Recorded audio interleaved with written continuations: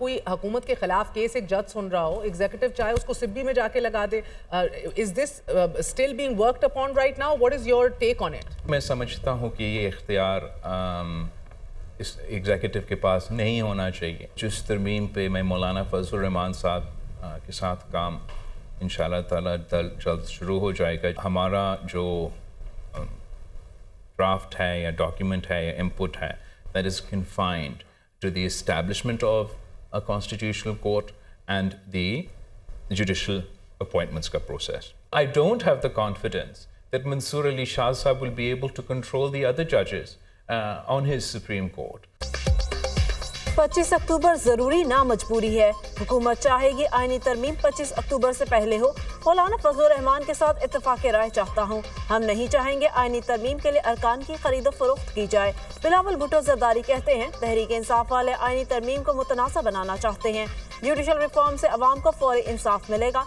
Justice Mansoor Ali पर एतमाद नहीं कि वो सुप्रीम कोर्ट के दूसरे जजेस को कंट्रोल कर सकेंगे। हाई कोर्ट के जजों के तबादलों का अख्तियार एग्जीक्यूटिव के पास नहीं होना चाहिए। पीपल्स पार्टी ने अपने मुसविदे में इस नोयत की कोई तजवीज़ नहीं दी। पीटीआई की कोशिश है अदलिया और इस्टेब्लिशमेंट को मुतनाज़ा बनाया जाए। तहरीक इंसाफ का मिशन पाकिस्तान को फेल करना है। तहरीक इंसाफ वाले चाहते हैं मुल्क न चले। महँगाई कम हो रही है। हमें हुकूमत की पॉलिसी की तारीफ़ करनी चाहिए। मुझे वज़ीर आज़म बनाने की मुताद बार पेशकश हो चुकी। P P chairman Bilawal Bhutto की प्रोग्राम दुनिया महर बुखारी के साथ में गुफ्तगू।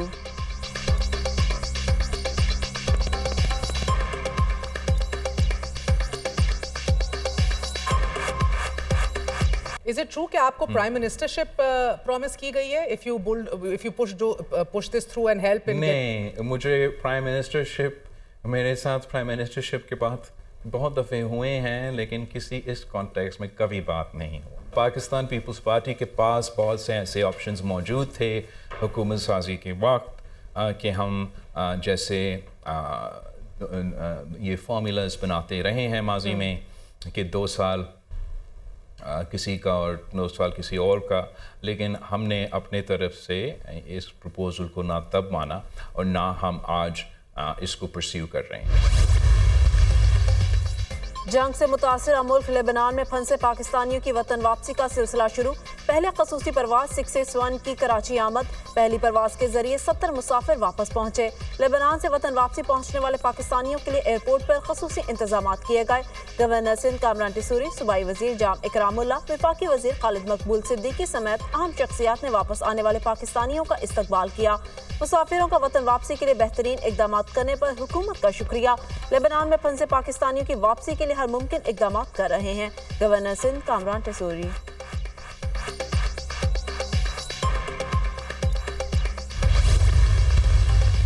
this is replica of that of that gory tale वो जो 2014 की थी। ये जो धरने दिए जा रहे हैं और रोज़ इस्लामाबाद पर चढ़ाई हो रही है। मैं समझता हूँ कि ये मजमूम इरादे हैं, नापाक का वो अज़ाइम है, जो पाकिस्तान को अब ये क्यों हो रहा है?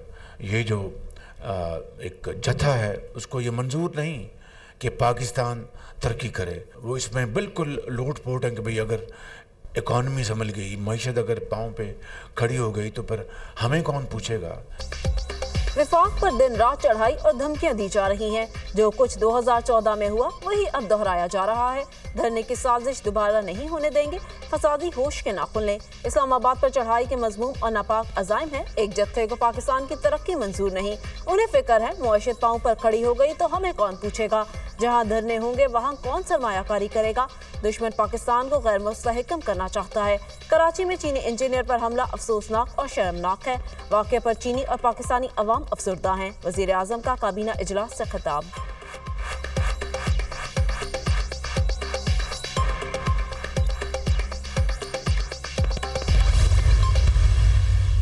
फेडरल गवर्नमेंट को वार्निंग दे रहा हूँ कि अगर तुमने इस आईजी इस्लामाबाद को ना हटाया तो अगली दफ़ा इस आईजी को हटवाने के लिए हम तुम्हारे पे दावा बोलेंगे। इसने वजी आला की सरकारी गाड़ी को तोड़ा, अली अमीन का नहीं तोड़ा।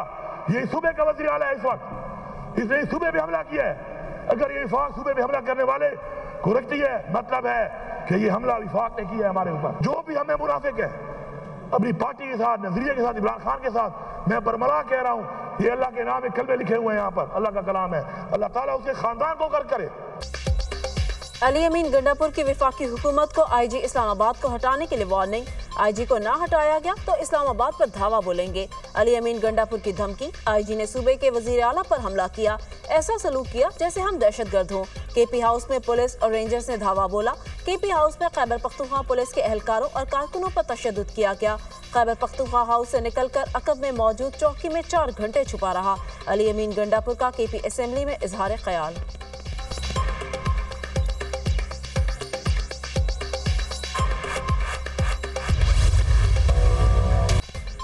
कराची एयरपोर्ट के करीब खुदकुश धमाके की तहकीकात में अहम पेशरफ कानून नाफिज करने वाले इदारों के मलीद मॉडल कॉलोनी और ईसा नगरी में छापे।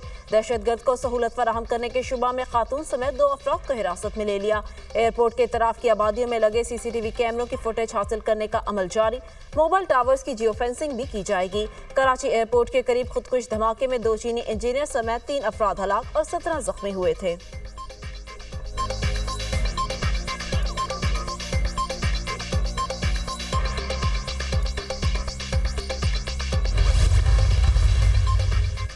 अमरीका की कराची में दहशत गर्दाना हमले की मुसम्मत। तर्जमान अमरीकी महकमा खारजा मैथ्यू मिलर ने कहा कराची एयरपोर्ट के करीब हमले में कीमती जानों के ज़िया पर दुख हुआ। ऐसे हमले क्याम अमन की राह में बड़ी रुकावट हैं। दुनिया भर की तरह पाकिस्तान में पुरअमन इज्तम और हज़ार राय की आज़ादी की हिमायत करते हैं।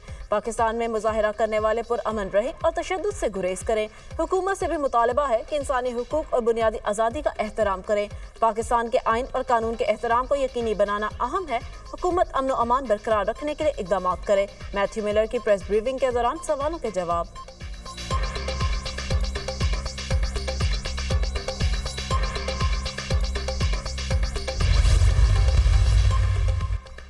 रियासत कल अदम पश्तून तहफ़ मूवमेंट के खिलाफ हरकत में आ गई। खैबर पख्तूनख्वा हुकूमत ने सरकारी मुलाजमीन के कल अदम पी टी एम के जलसे में जाने पर पाबंदी आयद कर दी। खिलाफ वर्जी करने वाले सरकारी मुलाजमीन के खिलाफ कानूनी कार्रवाई अमल में लाई जाएगी। खैबर पख्तूनख्वा हुकूमत ने नोटिफिकेशन जारी कर दिया।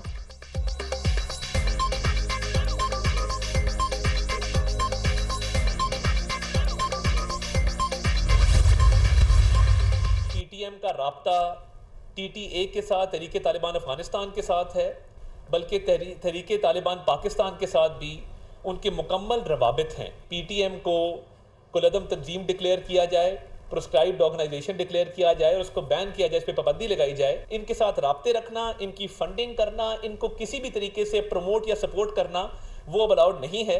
अफगान बाशिंदों के साथ मिल के पाकिस्तान की बेसिस पे हमला करेंगे। पाकिस्तान के झंडों को उतारेंगे बेसिस के ऊपर से नज़र आतिश करने की कोशिश करेंगे तो इसकी इजाज़त किसी भी सियासी जमात को नहीं दी जा सकती। पश्तून तहफ़ मूवमेंट के कलदम टी टी पी और अफगान तालिबान से रबते हैं। तमाम शवाहिद सामने आने के बाद पी टी एम पर पाबंदी लगाई। पी टी एम को किसी भी तरह का ताउन फराहम करना ममनू है, ये सबक तहरीक इंसाफ के लिए भी है। वज़ीर इतलात नशरियात अता की अहम गुफ्तु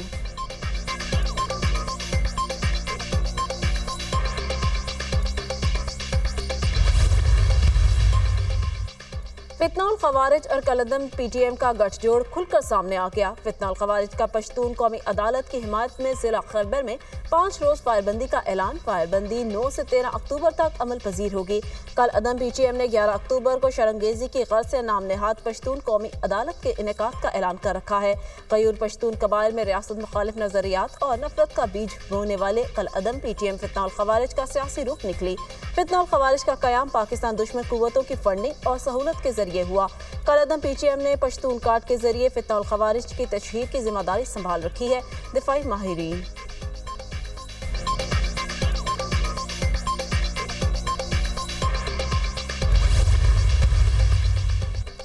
सबक डिप्टी सुप्रिटेंडेंट अडियाला जेल की दो माह से गुमशुदगी का ड्रॉप सीन। मोहम्मद अकरम तीन रोजा जिसमानी रिमांड पर एंटी करप्शन एस्टेब्लिशमेंट की तहवील में मौजूद। सबक डिप्टी सुप्रिटेंडेंट मोहम्मद अकरम के खिलाफ एंटी करप्शन शेखुपुरा में मुकदमा दर्ज है। मोहम्मद अकरम को दस अक्टूबर को सीनियर सिविल जज क्रिमिनल डिवीज़न खुदायार की अदालत में पेश किया जाएगा। सबक डिप्टी सुप्रिटेंडेंट के खिलाफ शहरी रियाज कुरैशी की मुदैत में मुकदमा दर्ज किया गया था। मोहम्मद अकरम पर पचानवे हज़ार रुपये रिश्वत लेने का इल्ज़ाम है।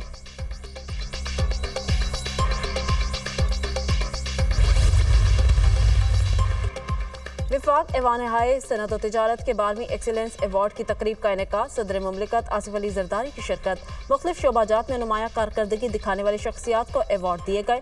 तालीम के मैदान में अहम खदमात के एतराफ़ पर पंजाब ग्रुप को best educational network of the country का एवार्ड दिया गया। सी ई ओ पंजाब ग्रुप मियाँ आमिर महमूद ने एवार्ड वसूल किया।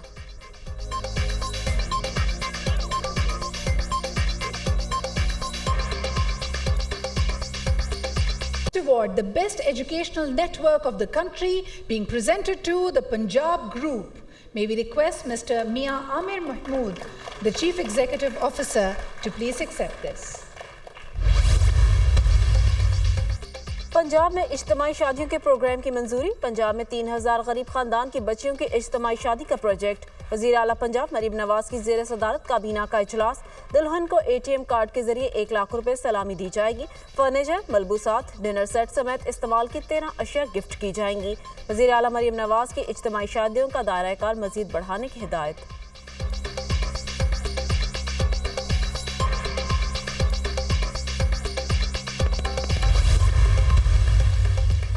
विफाकी हुकूमत के कर्जों के सारे रिकॉर्ड टूट गए। मुल्की कर्जे सत्तर हज़ार तीन सौ बासठ अरब रुपए की बुलंद तरीन सतह पर पहुँच गए। जुलाई और अगस्त में विफाकी हुकूमत के कर्ज में चौदह सौ अड़तालीस अरब रुपए का इजाफा हुआ। अगस्त तक मरकजी हुकूमत का मुकामी कर्ज अड़तालीस हज़ार तीन सौ उनतालीस अरब रुपए था। विफाकी हुकूमत का बैरूनी कर्ज बाईस हज़ार तेईस अरब रुपए था। स्टेट बैंक ने विफाकी हुकूमत के कर्जों का डेटा जारी कर दिया।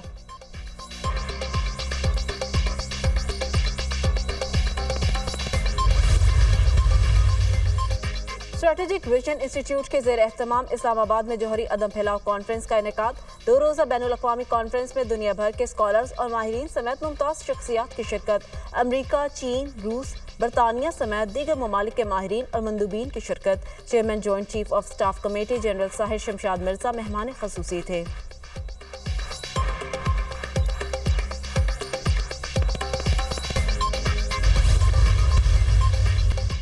और मुल्तान टेस्ट का तीसरा रोज इंग्लैंड आज एक विकेट के नुकसान पर छियानवे रन से खेल का आगाज़ करेगा। यूरोड बत्तीस और जैक चौसठ रन बनाकर विकेट पर मौजूद। पाकिस्तान की टीम इंग्लैंड के खिलाफ पहली इनिंग्स में पाँच सौ छप्पन रन बनाकर आउट हुई। कप्तान शान मसूद, अब्दुल्ला शफीक और सलमान अली आगा की सेंचुरियाँ साउथ शकी ने बयासी रन की इनिंग्स खेली। शायकीन के लिए खुशखबरी।